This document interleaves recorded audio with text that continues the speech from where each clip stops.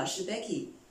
今天是中国农历的八月十五，中秋节，所以我在这儿先祝大家中秋快乐。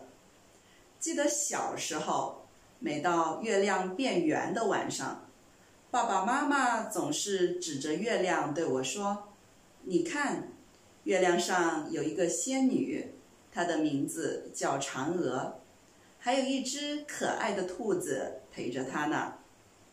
这呀，其实是在中国流传最广的关于中秋节的传说。还有人说，我们中秋的时候吃的月饼也是这位叫嫦娥的仙女发明的呢。不管是又大又圆的月亮，还是又甜又圆的月饼。那圆在中国文化里都象征着团团圆圆，所以呀，中秋节也是中国人家庭团圆的节日。关于中秋节的传说还有很多，那我认为啊，其实最可靠的是来源于我们的祖先对自然的崇拜。我们知道五六千年以前。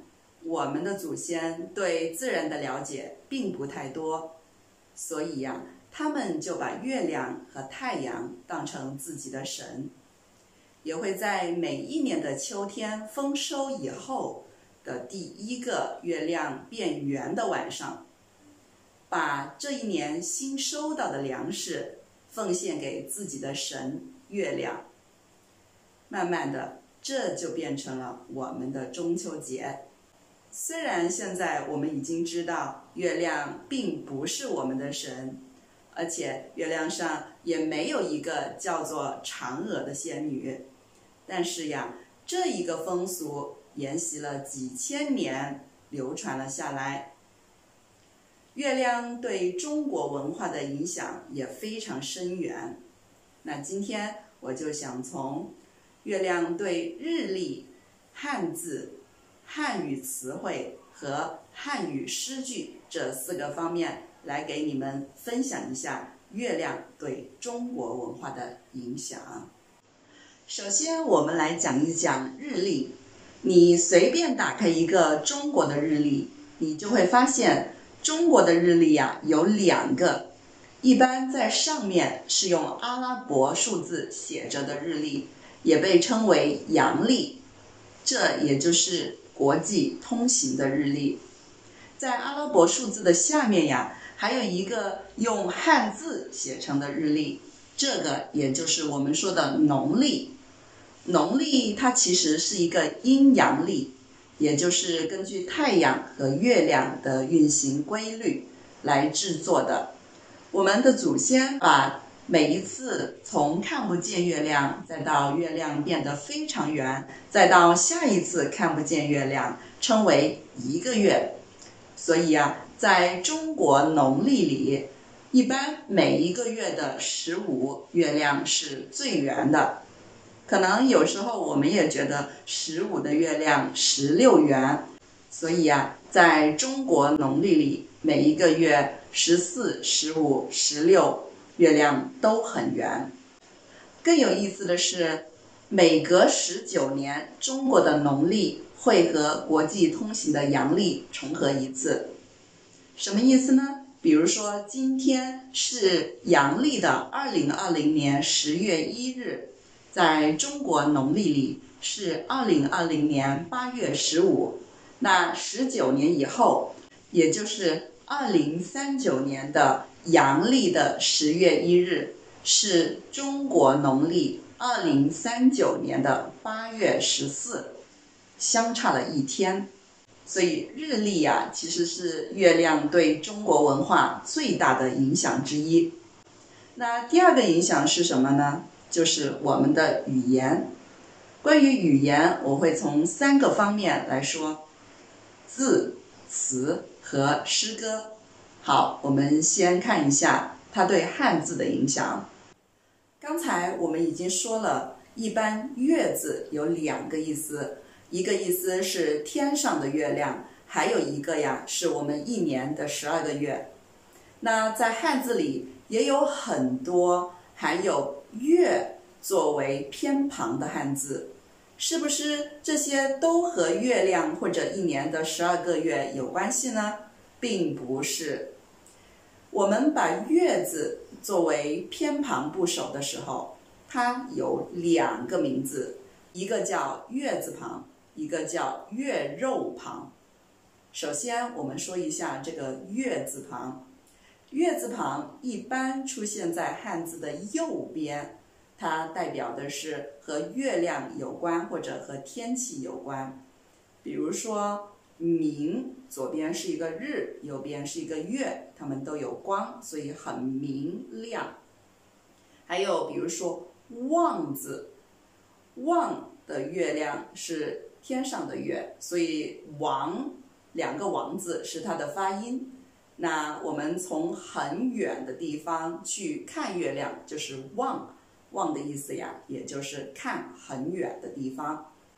月亮在汉字的左边，代表月亮的意思并不太多。比如说朦胧，朦胧这个词啊，就是指月亮不太亮，所以啊看不清楚。所以朦胧的意思就是看不清楚。比如说艺术需要一些朦胧美。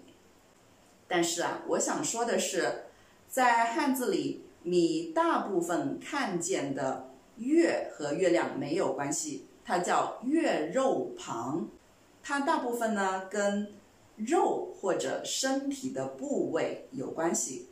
这主要是因为呀，在两千年以前的小篆里，月亮的月和肉字看起来很像，所以啊，在汉字发展的过程中。我们就把这两个字作为偏旁部首的时候合二为一了，都用月亮的月表示。那一般月肉旁呀，它出现在汉字的左边或者下面。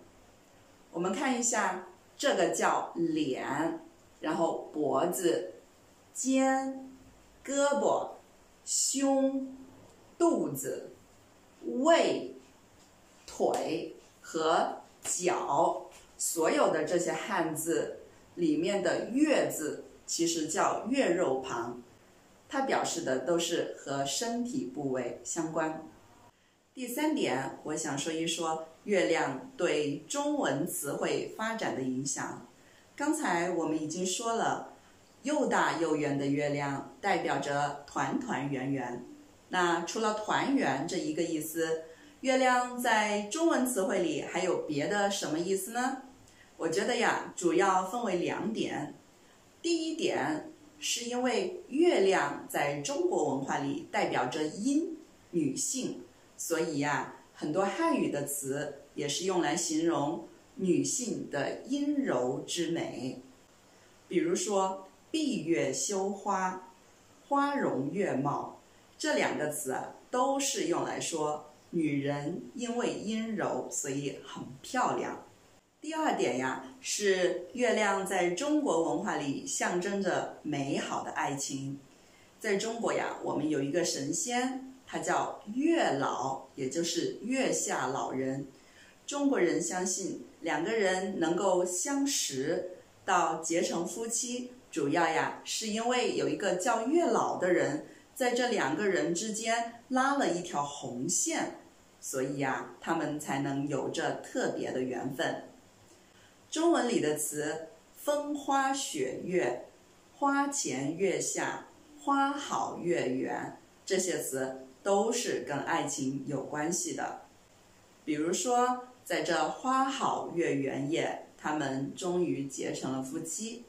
也可以说，爱情不应该只有花前月下，还应该有诗和远方。你看花的前面，月亮的下面，是不是很好的约会的情景呢？对呀，这个词就是用来说男女之间约会的。好，这就是我想为大家介绍的月亮对中文词汇的影响。第四个方面呀，我想为大家分享一下月亮对中国诗歌的影响。中国的诗人们呀，真的是太爱写月亮了。他们用月亮表达他们对远方亲人的思念，也用月亮表达自己的孤独感。我们来看一看，唐朝的张九龄写了一首诗，叫《望月怀远》。诗中有两句名句是这样写的：“海上生明月，天涯共此时。”什么意思呢？就是啊，看到圆圆的月亮从海上升起来，啊，天涯的意思就是远方，所以啊，我就想到远方的你也和我在一起共享着美好的时刻，意思啊，就是我想起了远方的你。宋朝著名的诗人苏轼，在他的《水调歌头·明月几时有》中也写道：“明月几时有？把酒问青天。不知天上宫阙，今夕是何年？”什么意思呢？就是圆圆的月亮，你什么时候才可以出来？我手拿着酒，问天上，现在月亮上的宫殿已经是什么时候了呢？其实呀，这一首词最有名的是他的最后两句：“但愿人长久，千里共婵娟。”著名歌手王菲也把这首诗唱成了一首非常好听的歌。那我把这首歌的链接。放在描述的部分，有兴趣的话呢，可以去听一下。当然，诗人常常也是孤独的，比如说唐朝诗人李白，他有一首诗叫《月下独酌》。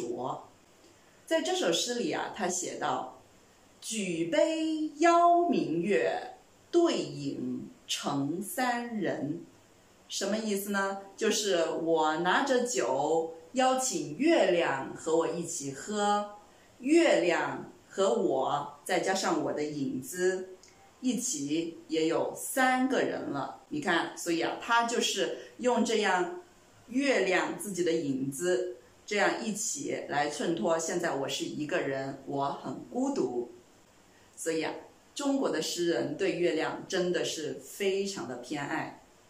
好，以上就是我为大家分享的月亮对中国文化的四种影响。那今天的课就到这，欢迎你在视频的下方留言，告诉我你知道的那些关于月亮的中文。但是不要走开哦，今天有彩蛋。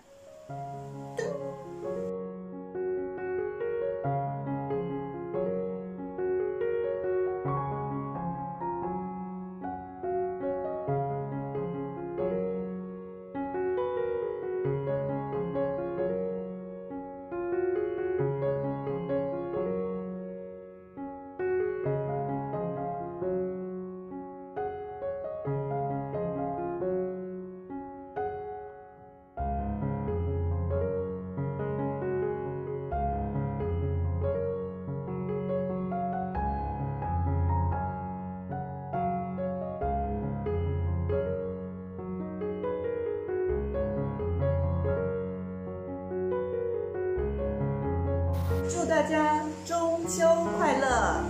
我们下节课见。